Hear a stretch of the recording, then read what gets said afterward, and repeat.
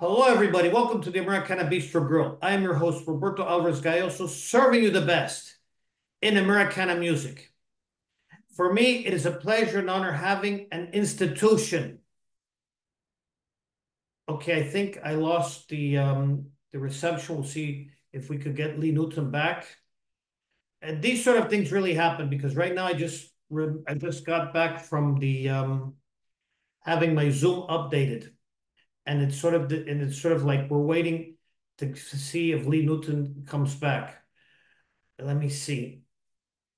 This has been this has been like the first time in many in many in the a decade that we've had in Americana Bistro Grill that we've had this sort of problem, ongoing problem. But let's see what happens. This these are just things. These are just things that are beyond our control. But we're not right now we're waiting for um for Lee Newton to get back, which she's back in the waiting room here. So these things happen. It must have been the Zoom. Okay. Okay, there we go. I'm so sorry. yeah, I was doing a I was doing a formal introduction. So again, and it's gonna be included. Welcome to the Americana Bistro Grill. I'm your host, Roberto Alvarez Galloso, serving you the best in Americana music. Right now, we have an institution not only from North Carolina and the South, but also from all of America. Her name is Lee Newton. And for me, it is a pleasure and honor having you here in our program. Uh, it is such a pleasure to be on here and such a pleasure to finally get to meet you. For me, the pleasure is mutual. Aww. I hope one day to go to North Carolina or you come to Florida. Hey, that can be arranged. I, I love to go to Florida. Mostly we'll probably be at the, the Florida Keys, or we were to have, or Hollywood, Florida, or even here in Miami. But I literally, oh. live, I really live very far from Miami. I live close by the Homestead and and uh, Florida City. But we could oh. arrange. Yes, Miami, Hollywood, even even Sarasota or Naples. But the reason most why we definitely. have you here is that we have heard about your your career. Your you have an illustrious career. You have a new album called Homesick. What is what is the inspiration? I what is the inspiration behind Homesick? Well, this is my my fourth album uh, that I have done, um, and then they've all, you know, I started about almost four years ago with starting to record my albums. I've done music my whole life, um, and my first album um, it was Undamaged and it was Unleashed. I did my, my gospel album, Crossroads. And this one right here, I, I wanted to, I, well, I changed producers. Um, with this produce with this album right here, I started working with Dolly Parton's producer, who had worked with Dolly Parton for gosh over 30 years. He still works with her, and um, and I wanted just to kind of expand a little bit and kind of just challenge myself and um you know i do love i love my traditional country but i do love a little bit of the southern rock and the the blues and just a little bit of that and um and so a few of the songs have got that that sound to it but yet still keeping the the the traditional country um and a, a lot of the songs on there um you know I wrote, and I'm so proud of them. Um, you know, we uh, got Mama Mama Said meant to be. Um, and of course, you know, I released Carolina Rain, which was the first single off of this new album, and it people are still playing. I mean, it's going, and I released it January first. So not just the, not just the not not only are people playing it, the video is excellent. You're we see a very beautiful video of what North Carolina is. Well, you know that that song Carolina Rain is just so special to me because it's so autobiographical with you know with me being on the road and and and working family and my home and I, I live in Carolina and I travel back and forth a lot um and you know I love coming back home. I love when I'm gone. I, I, I love it's just a feeling about being back and in Carolina and and the song I knew that people from North Carolina would love it, you know, and even South Carolina because it's got the Carolina, but people all over the world have really took to this song because I think it it just has that feeling of home, being at home, no matter where you're at. Mm-hmm. And um, you know, the video um, you know, I lost my dad when I was 11, and he was the biggest inspiration um, to me starting to sing and to play guitar. He taught me how to play the guitar, and he, oh my gosh, he was a cab driver, and uh, he was just an amazing man. And I remember riding around with him, you know, at the taxi stand, and and um, he would teach me how to play the guitar, and and always said, you know, one day you'll be on the stage at the Grand Ole Opry, you know, and um, and I actually got to fulfill that dream just this past October um, when I got to close out the show for the JMA Awards um, at the Grand Ole Opry House. So I got to stand on the stage and sing Carolina, which is another song written um, that's on my Unleashed album. Um, that's a tribute to my mom and dad in Carolina. Um, I, I try to stay really true to my roots and stay grounded and not get caught up in all that that stuff. You know, I, I feel like, uh, you know, I've, I've, I've had this opportunity of what platform I do have. God's give it to me, and um, I, He's gave me some amazing songs, and it's my job to get them out there. Great. In addition to homesick, you talk a lot about God. Yes. Which is beautiful. How? What is the importance of God, family, and country uh, in your life and career, and how did it inspire you to record one of the greatest gospel albums, Crossroads? Oh, well, thank you for that compliment on the album. I feel the same way. um, and I'll tell you why.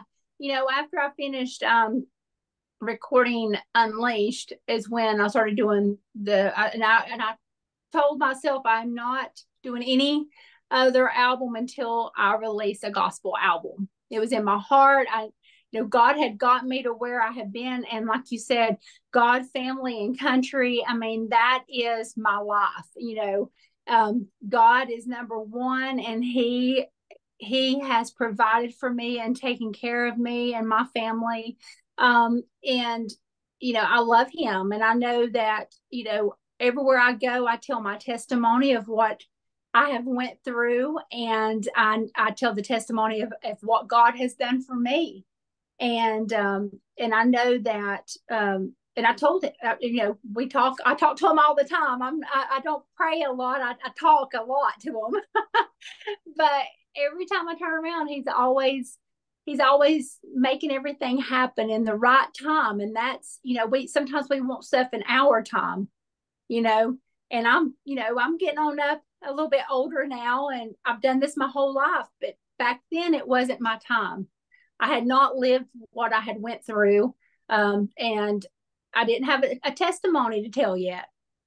So God mm-hmm. had His plan for me, and so He's a He's He is a huge part of my life and my career and my music, my family, um, and um, I love my family so much. My my husband, who actually I'm wearing his shirt. it's funny I'm wearing his shirt today, but um, yeah, and he is also a, a musician and, and, a singer and songwriter and um, so we we balance both of our careers and and be together. And we just we just have such a great um, respect for one another and love for one another. And we're each other's cheerleaders you know and uh, that's important of especially course. when you're apart from each other a lot.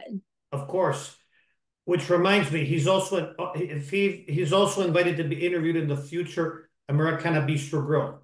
Oh, he would love that. He would love if that. he has any albums or anything concerning he does. Career, he just he is more than invited because we're only yep. inviting those who follow God, yep. family, and country. Well, you you, you have, love and, him. And if you are married, and if you're a married couple, we believe in interviewing the artists who are married. If the girl has a, if the female artist has a, if the female artist has a boyfriend, the boyfriend is also invited. Oh. The male artist is, has a girlfriend. The girlfriend is also invited. Also, cousins, grandparents, parents are also invited. We like keeping well, everything in the family. And it was, you will love one, his music. And it was one thing. It was one thing that I got from my Buckeye tradition. I had a tradition from this. From I had a tradition from Spain and Cuba, but this one with the Ohio, was Ohio tradition. The one in which the, the couples were interviewed together stay together. That's right. I would have brought my wife to be interviewed, but she's preparing my uh, my coffee with um, with milk. Oh, I, I know. I gotta make me some coffee. yeah, she's, she's from Puerto Rico. She's deeply religious. She has a love of God, family, and country as well. Oh, I love that. I love that. And you know, we were talking about the the gospel album, and God made that album completely happen because at that time I didn't even know how I was going to even have the budget to even do it. I'm like, okay, God, uh, you want me to do this this album, and I want to do it for you, but I don't know where to start. I don't know what what which direction to go because you know recording and being an independent artist, you pay for everything out of your pocket. So um, yeah, I was sitting there thinking, okay, it's all it's all gonna work out. I just put it in his hands, and sure enough, um, the album I started reaching out to people. Um, I'd have these feelings and these little thoughts, and I know it was God talking to me and um, telling me to reach out to certain artists and see if they wanted to be on the album with me. And sure enough, I mean, I ended up getting some of the most amazing artists on the album with me. I've got uh, Rhonda Vincent and Joe Bonsall who just passed away from the, uh, you know, and he was with the Oak Ridge Boys for over 50 years. Um, he was, he was a godly man. I know exactly where he's at right now because he mm-hmm. is, he is, a, um, he was my, he was my friend and he, he never made me feel like a nobody, even though he was, you know, the Oak Ridge boys and up here, you know, and I was just this little cab driver's daughter that wasn't, you know, I was down here. He never made me feel that way. And he just, um, such a great man. T. Graham Brown, the same thing. He's on my album. Um, my husband is on the album with me. We do one day at a time together. Yeah, I heard it. Uh, I yep. heard it and love it. Yes, that's now that's my husband. Um, and uh, his name's Dale Houston. And uh, I had Deborah Allen on it. I had my best friend Catherine Shipley. Um, Ben Isaacs from the Isaacs um, is on it with me uh, on How Great Thou Art. And then my little boy is on it at the very end singing Jesus Loves Me. And um, at the beginning, it's my dad. It's the only recording I have besides the other one of me and him singing, but I have a, a recording of my dad singing I Saw the Light. And I talk about the importance of my mom taking me to church when I was a little girl and hearing all those beautiful hymns and and how they had stayed with me and guided me through life, you know, and I thank her for that. I know, you know, in, in my song Carolina, it says Mama taught me to praise the Lord, and she did. I mean, um, she had me at every church you could think of. We were yeah, I was a little girl and she'd push me up there to to sing and stuff. And her and my dad both knew something special was with me that, that, that I wanted to sing, and they encouraged it. And uh, they were both dreamers, and they made me a dreamer. And uh, I know that I have uh, them both up there. Both of them, I've, I've lost both of them, um, and I know they're up there pulling some strings with the the man upstairs. Great. We've talked about your beginnings. Your how did you how did you get started in in, in country music? Well, I've loved country music my whole life. Like I said, I used to ride around with my dad. We'd sit there and he'd play Hank Williams, and I, my first cassette was Patsy Cline.